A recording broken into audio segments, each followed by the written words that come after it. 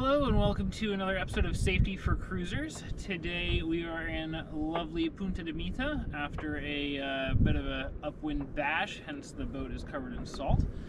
And uh, today we're going to be talking about jacklines, how to use them, what they are, and uh, how to move around a boat with a tether uh, connected to your jacklines. So to start out with, we'll talk about uh, what are jacklines. Uh, jacklines are basically the term to describe any method of securing lines to a vessel that you are then going to clip into to prevent yourself from going overboard. They are not to be confused with lifelines, which are the uh, white uh, lines that run uh, forward and aft on most vessels. Uh, they are, in our case, the yellow webbing straps uh, that are running below that. So, uh, like I said, they're designed so that you can clip into them, which prevents you from going overboard.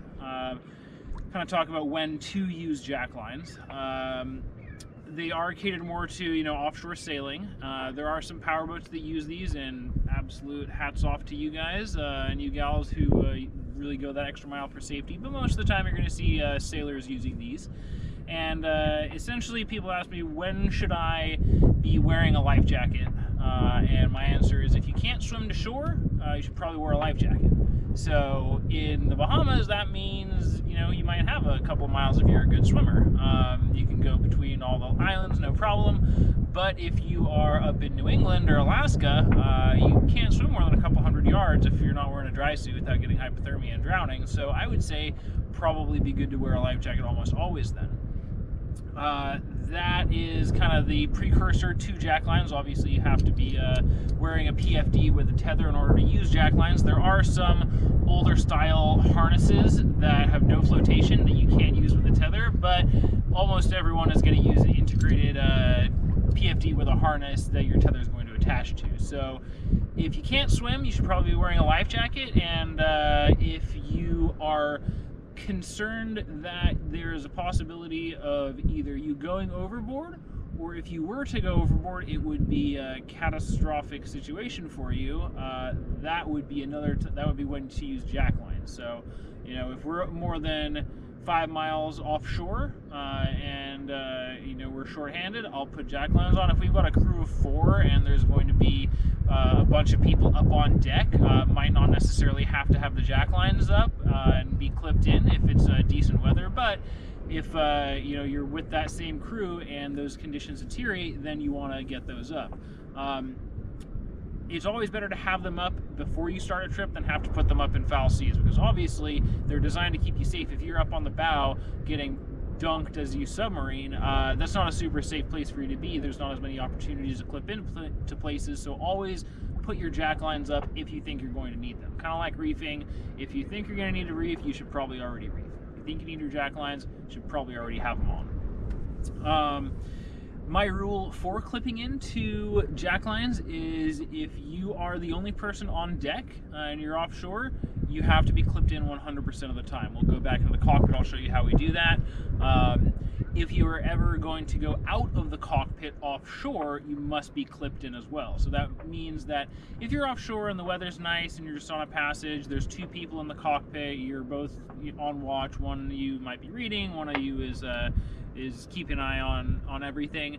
You don't necessarily have to be clipped in um, in my books if it's nice weather. I always say why not just clip in? It's not a big deal. It doesn't really impede your comfort. Just go ahead and do it. But my absolute rule is that if there's two people uh, in the cockpit, you don't have to be clipped in if it's good weather. Um, if one of those if one of those uh, people goes either down below, then that person now who's remaining has to clip in, which is why I say just go ahead and do it. So you're not constantly clipping, unclipping. There's no point in doing that. Or if, like I said, if anybody leaves the cockpit, they have to be clipped in as well. So naturally, if that one person clips in, goes to the bow to do something, the other person in the cockpit now has to be clipped in as well. So those are kind of some guidelines on how I uh, how I run things when we're offshore on how to use jack lines. And now we're going to go into how to travel with the jack lines.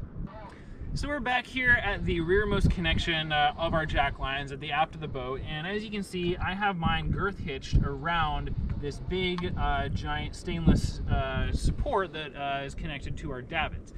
The jacklines do have to be connected at all points to structural members, so uh, most of the time you're going to use cleats. Uh, some boats have pad eyes dedicated to that. In fact, a lot of them do nowadays. Um, but uh, we are not one of those boats, and so what we elected to is to put it to this uh, this davit connection here. We didn't. We don't want to go to a stanchion to any uh, non-structural member. This is a nice big piece of stainless. It's through bolted. Um, that's not going anywhere. So as we move forward, you're gonna see that the jack jacklines are twisted as they lie on the deck. Uh, ours are actually above the deck because our bow and our stern uh, and the way I tension them brings the line up off the deck. Not all, all boats have that. So if you're on a boat that doesn't have uh, doesn't have the same hull layout as us, the jack jacklines are going to be laying on the deck. And if they're twisted, it's going to be a lot easier to grab them off the deck than getting a piece of wet webbing and trying to get your fingers underneath it, uh, especially if you have gloves or sailing in somewhere a little bit colder. So that's why we put twists in our jack jacklines. We technically don't need them, uh, but it's a habit that I'm in, and uh, I think it looks kind of cool. So that's uh, why we have twists in them. As we move back, you're going to see that the jacklines are essentially woven through the shrouds here. So how you, this is how this is done is going to vary depending on the vessel that you have. But the important thing is that the jack lines are running through at least one structural member and they're running inside of that member. The reason for that is that if you have the jack lines, if this was if this were to be outside of the shroud and I were to be connected to this and I were to go over, there would be nothing to my, my short tether is not as big of a deal, but uh, if I was on my long tether, there would be nothing to stop the jacklines from coming all the way up and depending on how tight you have them, potentially even over your lifelines. What that means is with a six foot tether, you're gonna be underwater, you're not be able to breathe, and you're either gonna have to cut loose or you might drown. So it's really important to run them inside of either a shroud. Again, some boats have pad eyes that are in the middle of the boat uh, midships here that you can secure those to. You just need to have the line running through something that's going to prevent it from stretching and coming all the way outboard uh, to give yourself more clearance from the water if you were to go over. Uh, so as we come forward, I will, we're gonna go over how to move around with these a little bit later, but uh, show you uh, kind of a unique setup that we have here. This is how we've secured our jack lines to the uh, fore uh, part of the vessel. So you can see it's around a cleat, and uh, this is a bit of a unique bit of a unique system. Most people are just going to use a uh, use a cleat hitch around uh, around their forward cleat wherever they're going to tension it from. Or like I said, sometimes you can tie a uh, tie a water knot, just put a loop in the end of your rigging, and then actually tension it with either uh, just a you know Dyneema strand or a, potentially even a block and tackle, whatever you want to do. The important thing is that it's tight. And so uh, the system that we have is uh, called a voodoo knot or a voodoo hitch, and um, it's a super cool method uh, that we use for our little box there to tie it down. It's a essentially a self-tightening uh, method for webbing. And uh, the way it works uh, you can look these up online but the way it works is that uh, in one direction you can loosen it up and we can take it off. And then in the other direction you haul on this until you get it as tight as you can. And now the friction between all of these different points and the way that it's connected is going to stop it from coming undone. I've done tens of thousands of miles underway with this system and it works fantastic. Uh, so if you're concerned about it slipping, you can always back that up with a cleat hitch or something else here, but it's a really great way to tension the jack lines without having to deal with any other auxiliary kind of items. So uh, we're gonna head back to the back of the boat and uh, we'll show you how we get in and out and kind of the rules of uh, using jack lines. Okay, so we're in the cockpit now, and uh, this is how I would be sitting if I was standing uh, or sitting watch uh, on, my, on my boat. So I'm back here, I've got access to all my instruments, my autopilot, and I'm clipped into the boat. Depending on the boats that you have, some people will run a jack line inside the cockpit. That's a really cool option. Um, I've done that sometimes, but it's uh, not usually necessary uh, the way we have things set up. Um, so you just have to be clipped into again a structural member. So either it's going to be the uh, either it's going to be the jack line you have run inside. Sometimes it'll be a pad eye over here. Some people will have it just a you know a of or something coming inside that you can clip into. Just need to be clipped into something structural. So for us, it's going to be this main sheet block. Obviously, this is through bolted in a half dozen to a dozen places. Uh, it has incredible load that it takes with the main sheet. So this is a very secure place for me to be, uh, not worried about that breaking. Um, so if we're going to be, uh, from if I'm going to be going out of the cockpit, out forward, um, we're going to have to do some adjusting to this whole situation so that we have one point of attachment minimum at all times. Uh, what that means is that you are always clipped in to one of your two tethers at some point. So if I was being lazy and I was just to unclip this and now clip it into my jack line, I have no attachment points. That's not cool, don't do that. Um, if you're on a boat and it's a good safety culture, everyone should kind of be like, hey, make sure you're clipped in, you know, make sure this. If you're in a bay and you're just finishing a passage and you, the jack lines are still up, you know, you can unclip from them. But for the purpose of this video, we're going to talk about how to be moving around. So say I'm going from reading, I have to go check something on the bow. I'm going to go, uh, I'm going to be leaving the cockpit. Now we'll uh, show you how to travel. So this is why in our tether video, we went over different kinds of tethers. This is why I like the short and the long is because we have a travel and we have a locking. So I'm on my travel tether just because I want to be able to move around and not be constricted in the cockpit. But before we uh, get out, we got to switch over. So I'm to go to my working tether here. I'm to unclip so you see how we always maintain one point of contact. And now I'm going to go to my jack line. So now I'm connected in two places, which means that I can unclip from this single one.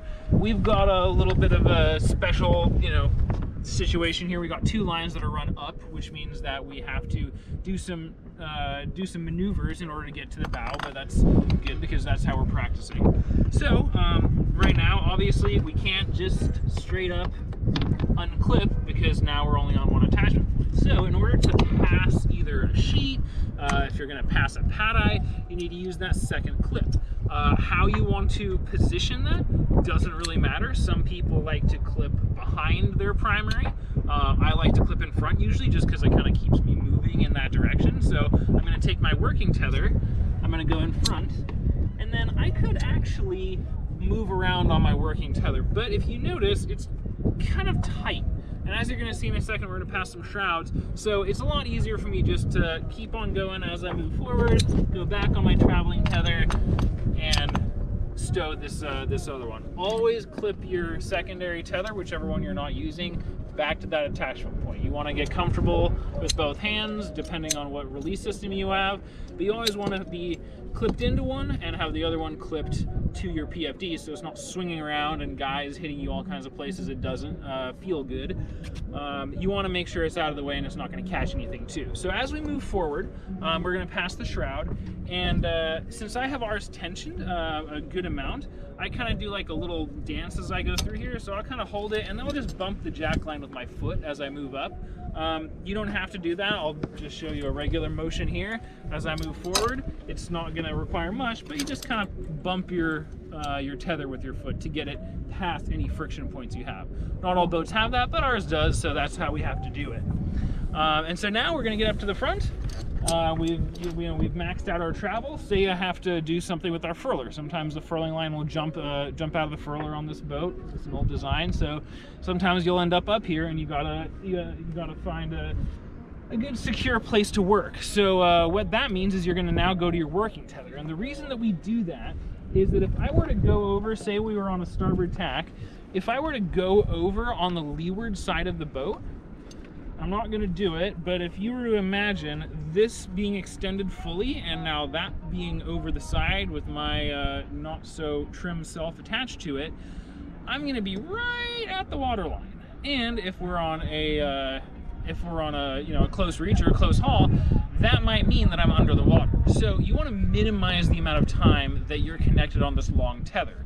If possible, you want to get on that short one as soon as you're up to the place that you can work. So um, we're going to go to our working tether. And another great thing about the working tether, one of the things I'm not a huge fan about on this boat is that there's not a lot of places to clip in on the bow. I really like, um, you know, just a big, even if I just put a shackle here, I'd be able to clip into that. And I do do that over passages sometimes. But right now we don't have it set up for that. So I'm just gonna show you here um, on our cleat here.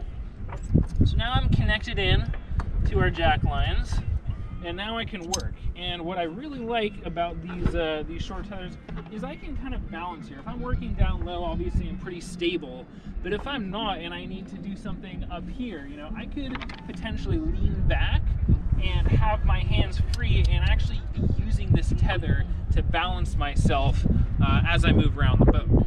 And the great thing about switching over to your working tether early is that whenever you have to move back, and uh, we'll go around the other side uh, just to show you the scenery there, um, you've already got your working tether, or your traveling tether, sorry, free. So now I'm going to come over here and uh, we'll actually show you um, on the back a couple times where you really do need to use that full reach and it can uh, it can make a big difference which tethers you have. Um, so now that we're back on our traveler, we'll uh, go ahead and come back here Walk our way to the front.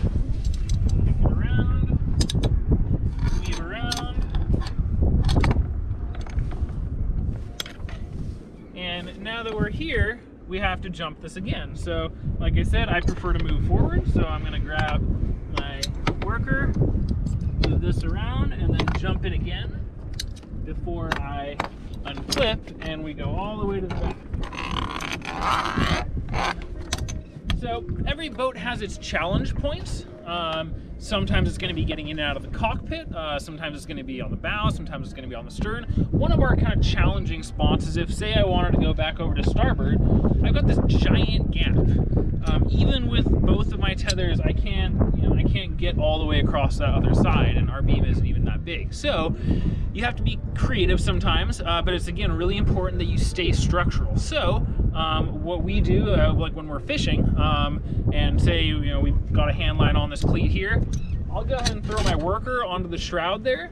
Not my favorite place for it because that's uh, our SSB uh, wired to our insulated backstay there. So not my favorite, but uh, it's kind of our only option when we're back here besides going to another one of the davits, which would mean you'd have to kind of do some kind of girth hitchy action, which I don't like. So this would be how I would reel a fish in here. So I've got plenty of room to work. I got all, all my freedom here. I don't even need to be on my traveler. I can stay on this because again, the more the more often that you stay on this, the better you are. Uh, and then when I'm ready to go back into the cockpit, um, this is kind of one of the reachier ones. Uh, so I could either go back to my jack lines, back over there, but sailors are intrinsically lazy. So what I'm gonna do is I'm gonna reach all the way over. You can see I'm kind of maxing this one out, but still got enough space. I can go back here, I can disconnect here, and now I can hop my way back into the cockpit, and I'm back on watch. I'm good to go. So that's how we move around. Uh, that's how uh, kind of our boat is set up. Obviously, everyone's is going to be different. The last thing I'm going to talk about is uh, just a little bit more detail about cutting away. So we touched on this briefly in our uh, PFD video.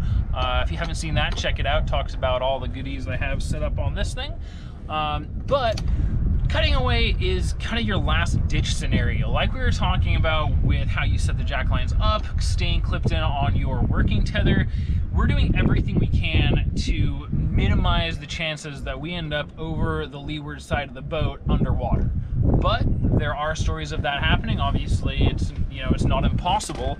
So what we need to kind of have in the back of our mind is that if we do uh, if we do have to cut away, we need to have the muscle memory in order to be able to do that. Because you have to imagine you just fell over the boat, you might have hit your head, you're kind of dazed, now you're getting dragged under the boat, you're in however many degree water you're in, uh, you know, the boat's going however many knots, you're getting dragged, the PFD's probably starting to ride up around your ears because you don't have your leg straps on because very few people use them. So this is just like in skydiving, you always practice your two handles your uh, your cutaway and pulling your reserve. That's you always in your in your training in your AFF training. You're going to be sitting here constantly pulling these two imaginary handles. It's important. Side note for skydivers, randomly, uh, that you practice uh, that same maneuver when you're under canopy as well. Um, because those handles move. And the reason I'm talking about skydivers on this tangent is because this moves. It's all well and good to practice like, okay, this is my cutaway handle. And I, I love this tether. I talked about it a bunch in the other video. This has a cutaway handle, like a skydiving rig. Um, not all of them have it. The other, uh, the more common ones are gonna have like this little white tabby thing that releases this, uh, this quick connect not a big fan of, but if that's what you have, again, you don't want to practice it down here because it's not where it's going to be. You're going to be hanging from this thing, so you want to be, you want to kind of, you know, close your eyes, feel around, imagine what it's going to be like, and you want to practice getting hold of that, and you want to know, you know, at, at, this position, do I need to pull up? Do I need to pull down? Uh, how do I need to be able to cut away? Because if the first time you ever think about all this stuff is when you are underwater and you didn't get a full breath of air, you might not have enough time before you lose consciousness to figure that out and cut away. So that is our uh, video on jacklines and everything, and uh, hope you enjoyed. Stick around for some more good stuff coming next week.